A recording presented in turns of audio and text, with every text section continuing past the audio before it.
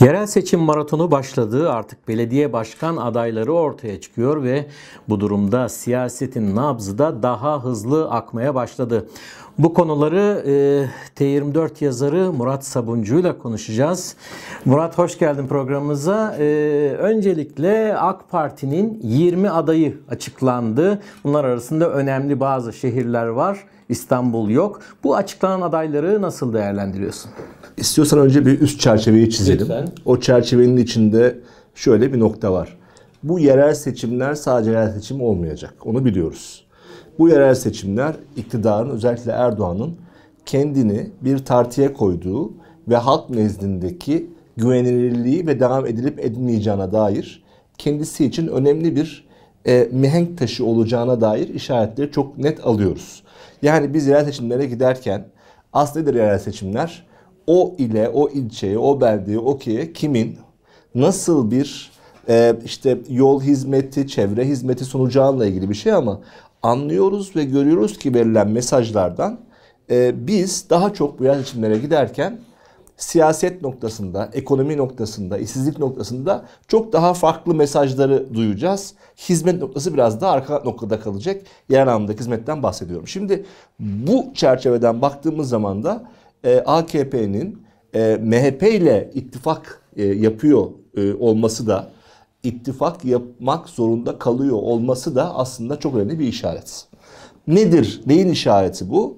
Ee, biliyoruz ki AKP'nin e, Tayyip Erdoğan'ın oylarında bir gerileme var. Bir, bir şeyi var, bir noktası var. Ki Tayyip Erdoğan Türkiye'nin en tecrübeli siyasetçilerinden bir tanesi. Anketlere bakmadan çok zor adım attığını biliyoruz. Demek ki Tayyip Bey'in önüne bir anket sonucu konuldu ve özellikle büyük şehirlerde yani İstanbul ve Ankara'da eğer ittifak yapmaz ise seçimleri kaybedebileceği noktasında bir görüş hasıl oldu kendisinde. Eğer olmasa idi MHP ile böyle bir ittifakı yapmayacak idi. Nereden biliyoruz?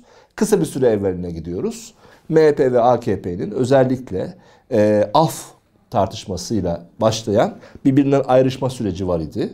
E, grup toplantılarında hem Tayyip Bey hem Devlet Bey diğer parti ve aday ve lider üzerinden ağır laflar söylemişler idi. Fakat bu tabi siyaset e, sonra vazgeçildi.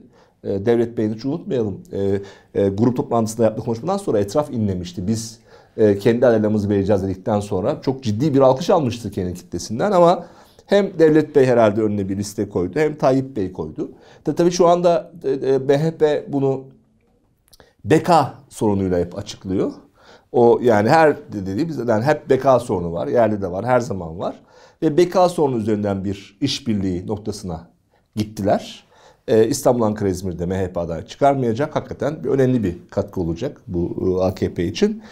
Dün Tayyip Bey grup toplantısından sonra gazetecilere dedi ki biz de jest yapacağız dedi. Muhtemelen Osmaniye'de, belki Mersin'de AKP adayı çıkarmayacak ve böyle bir destekleşme olacak.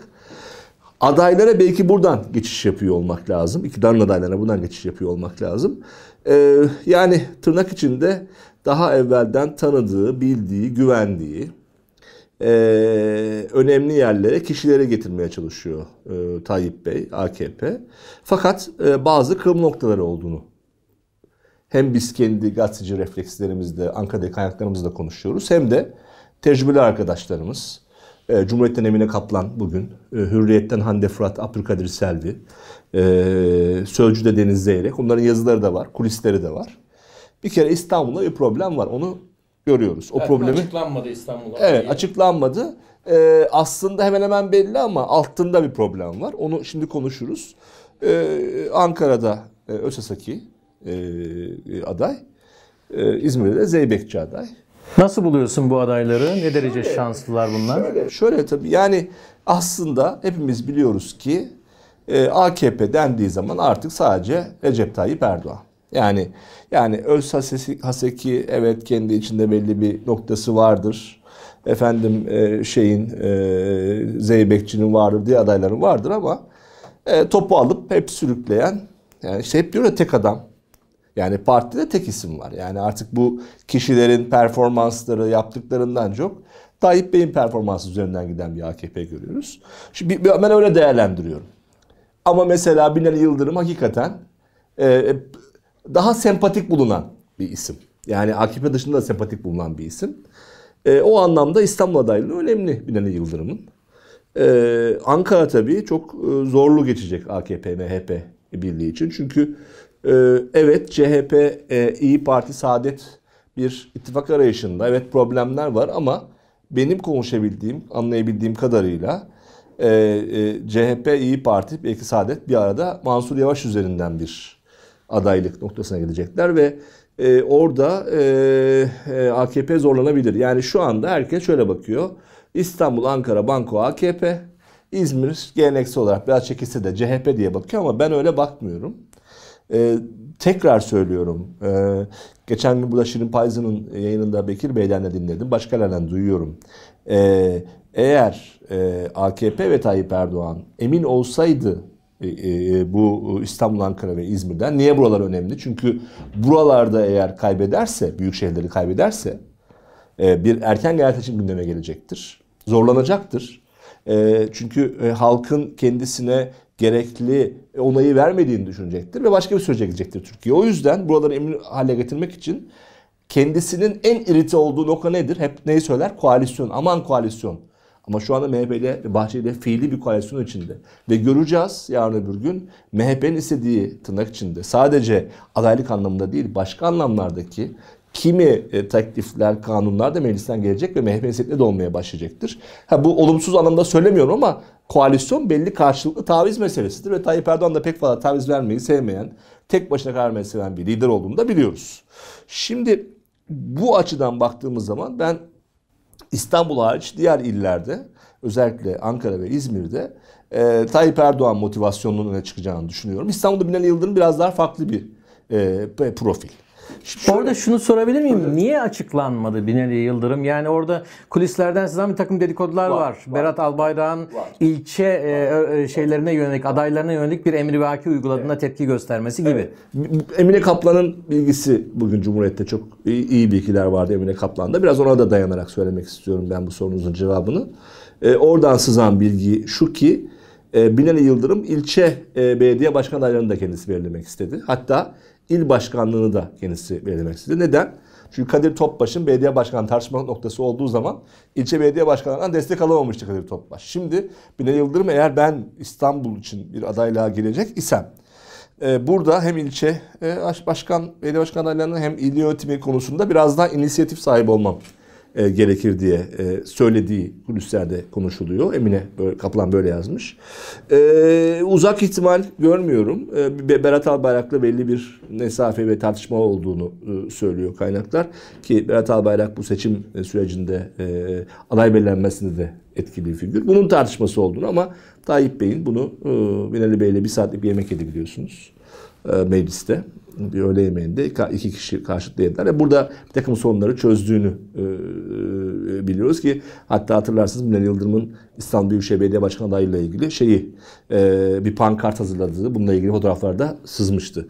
Şimdi e, Arjantin dönüşü e, açıklanacağı bildiriliyordu. Aslında üçünde dönecek Tayyip Er Arjantin'den ama bir Binali Yıldırım'ın bir haftalık bir Çin gezisi var falan filan. Yani 8'in 10'unu bulabilir ama çok büyük ihtimal Binali Yıldırım. Şimdi burada tabii bir takım şeyler ortaya çıkacak. Binali Yıldırım Mın iddia o ki meclis başkanından ayrılmadan belediye başkan adaylığı. E şimdi böyle bir protokol nasıl olacak yani meclis başkanı olarak mı yani ya diyeceksiniz ki Türkiye'de anayasanın hani o süreçlerine bakmadan Cumhurbaşkanının başbakanının hani görevlere devam ettiği başka türlü noktalarda bir sürü şey delindi ama herhalde bir garabet daha yaşanacak. Birinci garabet bu tabii burada. Ee, ikincisi tabii İstanbul'da muhalefetin çıkartacağı daha çok önemli. Ee, İyi Parti ile anlaşma noktasına baktığınız zaman e, eğer Ankara konusunda e, CHP biraz taviz verir ve beraber Mansur Yavaş'a giderlerse ki bu e, olası bir ihtimaldir. E, İstanbul'da e, herhalde e, Muharrem İnce çok istiyor. Onu görüyoruz aslında. Çünkü e, liderliğin yolunun İstanbul'dan geçtiğini biliyor. Şansı var mı sence? Çünkü adı şimdi de Fatih Altaylı'nın bir yazısıyla birlikte bir de Ankara için geçmeye başladı. Ben Ankara'yı zor görüyorum Muharrem İnce için. Çok zor görüyorum. Yani e, Ankara e, Muharrem İnce'yi kesmez diyeyim. Yani Cumhurbaşkanlığına aday olmuş bir isim için Ankara İstanbul'da olabilir diyorsun. İstanbul e, liderliğin geçiş noktasıdır. Önemli bir yerdir. E, O anlamda e, önemli. Bence İstanbul'dan aday olmayı istiyor hala. Muhalefetin kendi arasındaki iletişimde özellikle Meral Hanım'ın da bazı açıklamalarıyla Mersin, Antalya ama özellikle Ankara'da bazı sorunlar var. Onun dışında 9 kent üzerine konuşuyoruz türünden açıklamalar var. Yani e, hem iktidarın AKP, MHP'nin hem CHP, İyi Parti, Saadet'in aslında birbirlerinin desteği olmadan ciddi bir şansının olmadığını e, herkes biliyor. Yani tek başına CHP, tek başına İyi Parti veya tek başına AKP. Bunların her birinin riskleri var. Ama özellikle tabii muhalefetin daha büyük riskleri var. CHP'nin, e, İyi Parti'nin ve e, Saadet'in. E, bu noktalarda bu ittifakların zorunlu da olarak biraz çünkü Sonunda da Kemal Kılıçdaroğlu da Kemal Bey de Meral Hanım da okuyor bunları e, ve e, bunları anketleri kendileri de görüyorlar. Bu anlamda baktığınız zaman e, bence e, bu e, ittifaklar olacaktır diye düşünüyorum. Yani CHP, İyi Parti, e, Saadet ama tabii esas buradaki soru işareti şu sevgili Hakan. HDP oyları ne olacak? Evet tam da oraya gelecektim. Çünkü diyelim ki İstanbul 1 milyon 300 bin HDP'ye oy vermiş bir kitle var.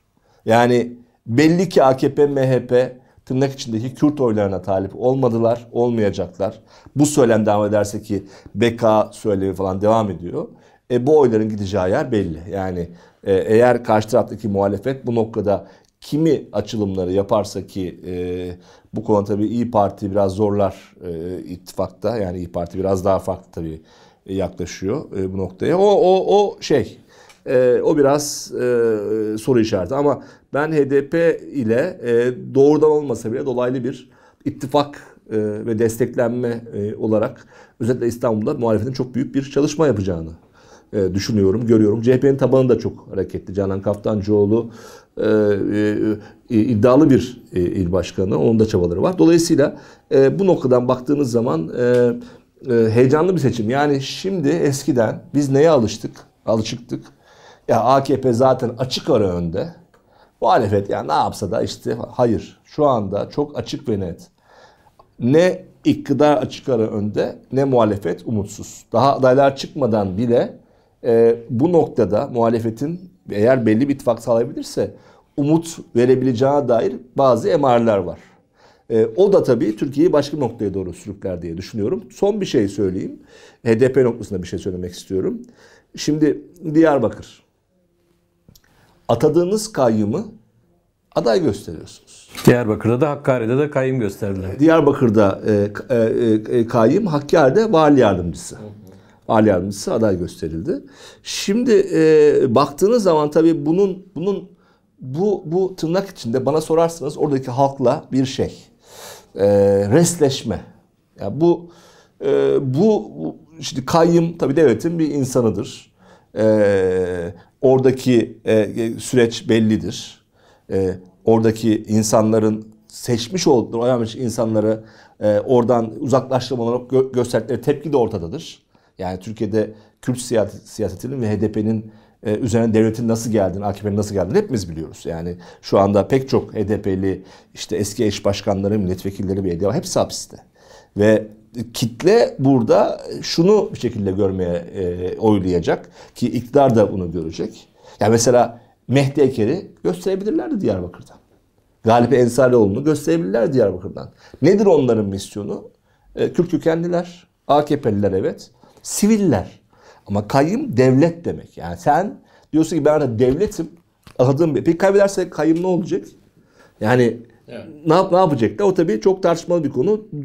Çok bilinmeyenli bir süreç ve önümüzdeki 4 ay hep söylüyorum. İşte Diyarbakır'da Hevsel bahçelerinde bunu yapacağız. İstanbul'da şöyle bir yeşil çevreyi konuşacağız. Ankara'da işte battı çıktı tüneller artık su basmayacaktan çok biz siyaseten e, Türkiye nereye gidecek?